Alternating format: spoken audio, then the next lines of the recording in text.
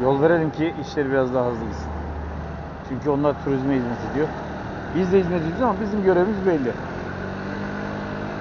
Onların görevi bizden biraz daha fazla.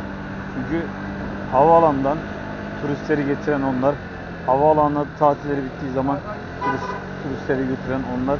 O yüzden onların önceliği biraz daha fazla olsun. Benim için sakıncası yok. 5 dakika geç gideyim iş yerine.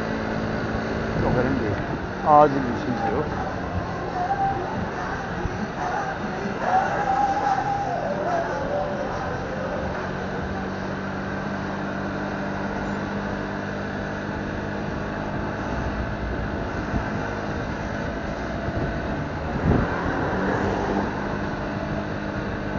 Evet arkadaşlar.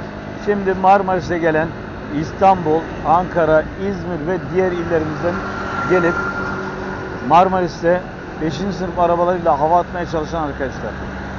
Arkadaşlar burada sizin o bin lüks diye bildiğiniz arabalar var ya hani bulunduğunuz yerde insanlara hava attığınız 1 milyon TL'lik arabalar. İşte onların burada bir kominin bile gözünde de ederi yok, değeri yok. Yani oradan buraya gelip biz burada hava atarız, biz farklılık yaratırız diyorsunuz ya. Buradaki komiler bile size güler. Mesela önümüzde 06 plaka bir araba var. Sabahtan beri garip garip hareketler sergiliyor.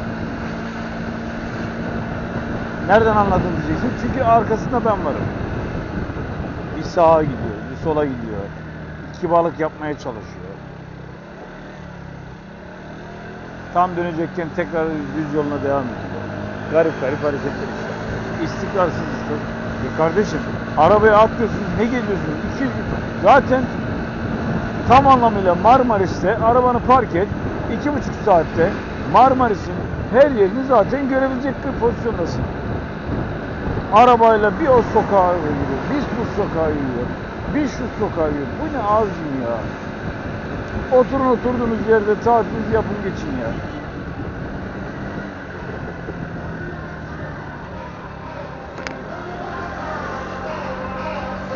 Evet bugün sizlerle birlikte farklı bir araya girdik.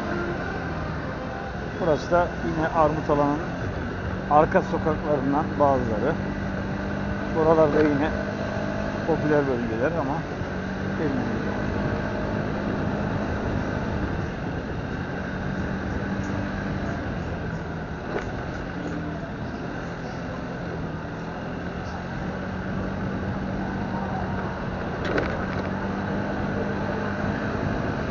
sizlere